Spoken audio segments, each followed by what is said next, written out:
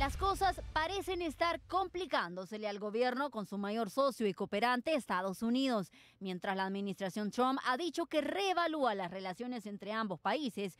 Ahora la embajadora norteamericana en El Salvador ha sido llamada por Washington junto a sus pares de Panamá y República Dominicana. Ambos eventos tienen que ver con la ruptura de relaciones con Taiwán para iniciar lazos de amistad con China Popular, algo que ni ahora ni antes parece preocuparle al Ejecutivo.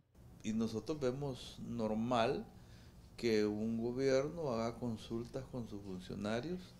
Nosotros lo hemos hecho en algunos momentos, ¿verdad? Eh, y por supuesto de que nosotros somos respetuosos de los procedimientos diplomáticos que cada país tiene y así como somos respetuosos de esos procedimientos diplomáticos, eh, pedimos también respeto a nuestras decisiones diplomáticas.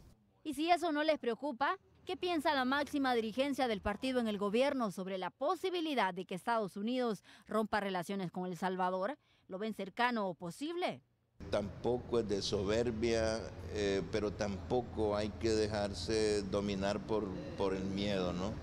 Nosotros confiamos en que Estados Unidos, el gobierno de Estados Unidos, em, analice la situación.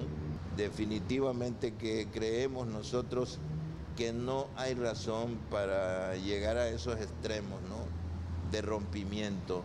Lo que sí está claro es que desde la ruptura de lazos con Taiwán, senadores como Marco Rubio han hablado de recortar la ayuda a El Salvador. Tres semanas después, se conoce que Estados Unidos suspendió un encuentro de cancilleres y titulares de seguridad integrantes de la Alianza para la Prosperidad del Triángulo Norte que se tenía previsto para esta semana. Algo que lamentó el gobierno, aunque señalan que se debió a solicitud de otros países por caer en fecha en que se celebra la independencia. La versión del secretario de Comunicaciones de la Presidencia y del secretario general del partido en el gobierno sobre el tema no coincide. Porque se estaba haciendo en esta coyuntura de la jornada de la independencia, de la fiesta cívica, y los presidentes eh, no podían salir del país. Eso se debió a que los dos cancilleres, de, tanto el de Guatemala como el de Honduras, pues este, tenían dificultades con el tiempo, con su tiempo, y por eso fue que se eh, detuvo esta reunión. Para Tele2, Raquel Herrera.